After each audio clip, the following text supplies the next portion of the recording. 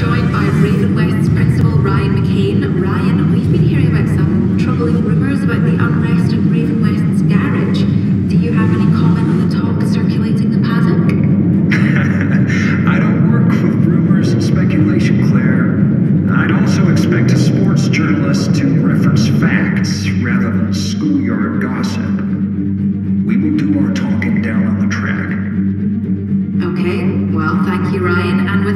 Race is about to get underway. We're so close to the end of the season. Keep fighting.